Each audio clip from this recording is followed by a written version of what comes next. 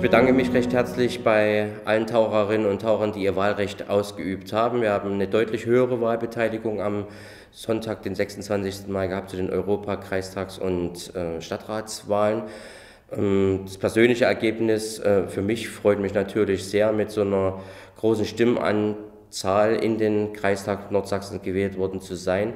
Äh, weitere sieben Taucherinnen und Taucher haben es geschafft, in den nordsächsischen Kreistag einzuziehen. Von anderen Parteien wurden sie aufgestellt und ähm, werden jetzt hoffentlich mit mir gemeinsam im Kreistag eine starke Stimme für Taucher bilden. Ähm, der Kreistag in Torgau ist nicht viel im Bewusstsein der Mehrheit der Taucher und ähm, das müssen wir ändern, denn Taucher gehört ähm, zum Landkreis Nordsachsen. Wir sind eine der dynamischsten Städte. Hier passiert richtig was und äh, wir müssen unsere Stimme im nordsächsischen Kreistag in Torgau erheben. Und da möchte ich natürlich meinen Anteil ähm, dazu beitragen. Weiterhin ähm, haben wir ja eine neue Zusammensetzung des Stadtrates. Es gab einige Veränderungen für die nächste Legislatur.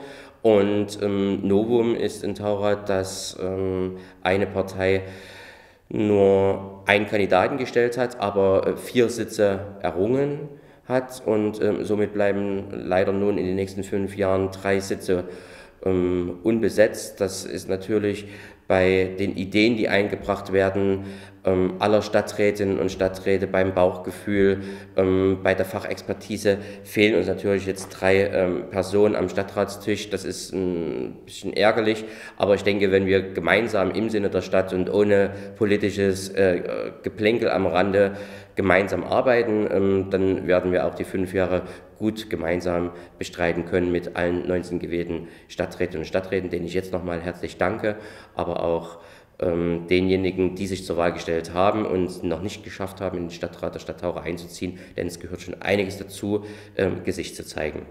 Am 20. Juni, in wenigen Wochen, findet die letzte Stadtratssitzung ähm, der alten Legislaturperiode statt und es wird nochmal eine sehr umfangreiche äh, Ratsversammlung werden mit vielen Tagesordnungspunkten, aber auch der Verabschiedung von Stadträten. Und ähm, in den nächsten Wochen wird es auch schon eine Zusammenkunft geben der neu gewählten Stadträte und der bisherigen Stadträte.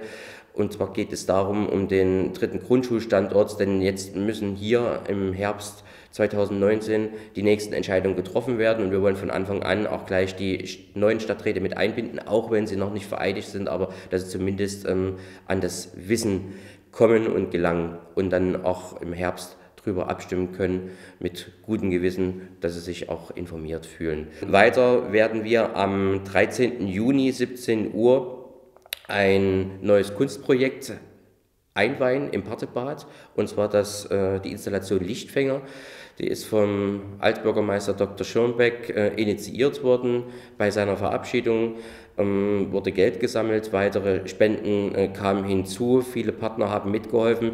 Ich lade die Taucher ein und vor allem diejenigen, die sich an dieser Installation und des, der Fertigstellung ähm, mitgewirkt haben, am 13. Juni 17 Uhr ins Partebad zu kommen, um eine schöne Einweihung des Kunstobjektes Lichtfänger ähm, gestalten zu können. Zum anderen haben wir am 29. Juni das Fest der Vereine. Hier gibt es Sport, Musik, Tanz äh, für Kinder und Erwachsene alleine über zwölf Vereine, nicht nur sportlicher Natur, auch gesellschaftliche Vereine, engagierte Vereine und musikalische Gruppen ähm, werden dabei sein, werden sich präsentieren. Das ist sozusagen eine Generalprobe für das äh, Jubiläumsjahr 2020, denn dort ähm, sollen ja in diesem Jahr über das gesamte Jahr hinweg verschiedene Veranstaltungen durchgeführt werden.